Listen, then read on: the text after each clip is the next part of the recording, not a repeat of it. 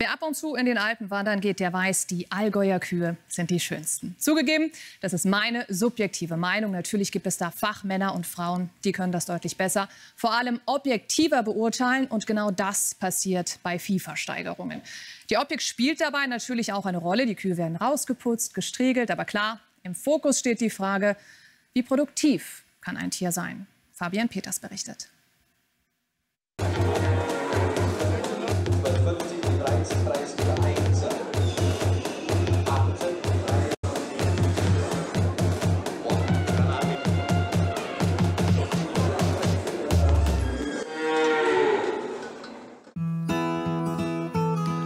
Morgengrauen in Untertingau im Allgäu. Biolandwirt Richard Schindele bereitet seinen Transporter vor. Denn heute geht es mit einer seiner Kühe zur großen Milchviehversteigerung. Züchten tun wir schon seit Generationen. Also ich bin jetzt mittlerweile die sechste Generation auf dem Hof. Also uns gibt es seit Anfang 1800. Und gezüchtet wird bei uns eigentlich schon seit 60, 70 Jahren. Also wenn die Kuh auf die Welt kommt, dann wird sie ungefähr drei Monate getränkt als Kalb. Dann geht sie in die Aufzucht nochmal gute zwei Jahre, sage ich mal. Und abkalben tut sie circa mit 28 Monaten das erste Mal. Das Kalben ist notwendig, damit die Kuh Milch gibt. Weil ja der Milchpreis, sage ich mal, immer relativ schwankt, mal hoch, mal niedrig. Und so das Zuchtgeschäft ist für mich immer eine gute Einnahmequelle, wo ich noch ein richtiges Zusatzgeschäft habe. Heute kommt die 28 Monate alte Jungkuh Oase unter den Hammer. Dafür muss sie natürlich schön sein. Schon am Vortag hat Richard ihr das Euter rasiert. Also wenn man eine Kuh kaufen möchte, sollte man schon darauf achten, dass er gute Beine hat, dass sie ein gutes Euter hat, also dass das relativ hoch hängt, nicht schon zu tief, ja, und dass sie so einen schönen Rahmen hat, dass sie einiger oder relativ gut bemuskelt ist und dass sie natürlich auch eine gute Milchleistung hat. Also lukrativ ist es dann mit 28 Liter, sage ich, bis 32 Liter. Ein Jungkuh muss auch noch nicht zu viel Milch geben.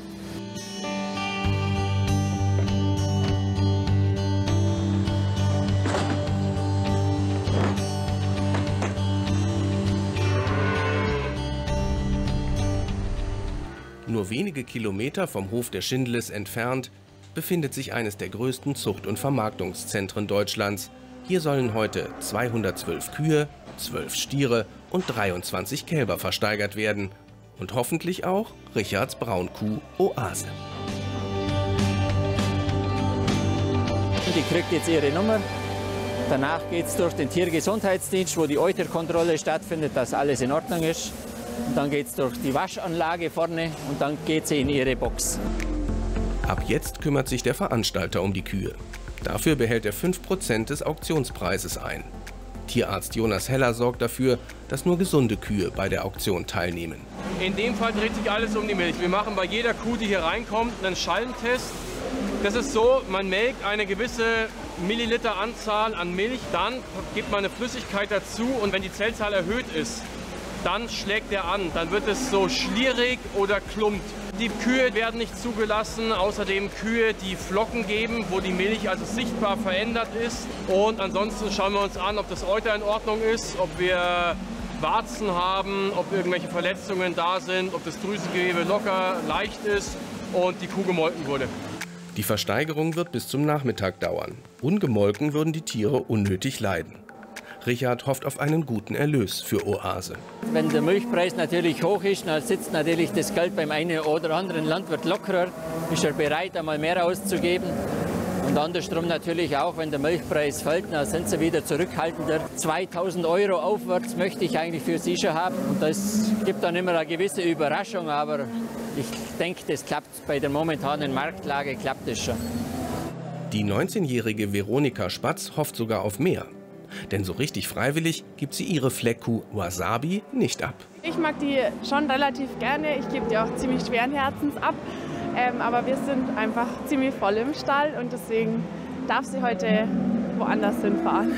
Hoffentlich. Also 2300 hätte ich schon gern. genau. Ja, ansonsten fährt sie wieder mit nach Hause und dann schauen wir mal. Bevor die Auktion beginnt, können sich die Käufer ein genaues Bild von der Qualität der Tiere machen. Hier geht es vor allem um die Euter. Die sollen die Interessenten nicht nur ästhetisch ansprechen, ihre Form ist auch für das Melken relevant. Ja, da wunderschön vorbereitetes Euter. Da sieht man schön die Milchadern. Ist ein Euter, was sehr in die Bauchdecke übergeht und wo die Zitzenstellung eher nach vorne ist. Was für meine Art an Melkstand zu Hause bequemer ist, weil wir seitlich zum Melker kommen, dann ist es leichter zum Erreichen, als wenn die Zitzen jetzt ganz hinter sind. Mehr als 600 Züchter, Händler und Landwirte sind heute zur Auktion angereist. Als erstes werden die Kälber versteigert. 60, 80, 22, 40, 240, 60, 80, 23, 320, 40, 340, 60, 360, 80, 500, sonst 200, 500, dritten Mal. Beim Bieten zählt zwar Geschwindigkeit, trotzdem kommt auch die Gemütlichkeit nicht zu kurz. Den Einstiegspreis fürs Vieh schlägt zunächst Auktionator und Landwirt Josef Hefele vor, dann wird in 50-Euro-Schritten geboten. Also ich hätte schon gern die 2300. Dann ist Veronikas Fleckviehkuh Wasabi in der Arena. Februar gedeckt, 1650. 1650, 17 geboten, 17. Wenn Veronika mit dem Endpreis nicht zufrieden ist, kann sie ein Veto einlegen. Sie muss Wasabi nicht verkaufen. 2050 zum zweiten und die 2050 zum dritten. Wird nichts abgeben. Da gibt's schon ab, oder? 22 bieten jemand. 23. 22. 23. Aber haben die nicht. Er zahlt. Also gut, für 23 gibt's her. Also ich bin jetzt zufrieden, ja, weil ich einfach finde, dass die Kuh das wert ist und dann bin ich auch da dahinter. Käufer Michael Heckel hatte es nicht grundlos auf Wasabi abgesehen. Weil meine Frau gesagt hat, ich soll eine Fleckfigur mit heimbringen. Die ist aus dem Oberbayerischen und die wollte unbedingt eine Fleckfigur. Und äh, es hat sich nur durch das ergeben, dass sie am 6.2. besamt worden ist und da ist schon mein Sohn auf die Welt gekommen. Also dann haben wir gedacht, das passt und 2,3, der Preis ist fair. Auch Milchviehzüchter Richard Schindele hat eine klare Preisvorstellung. Unter 2000 Euro will er seine Oase nicht ziehen lassen. Da ist ja ein bisschen so kribbeln, hat man schon. Ob Oase heute eine neue Heimat finden wird?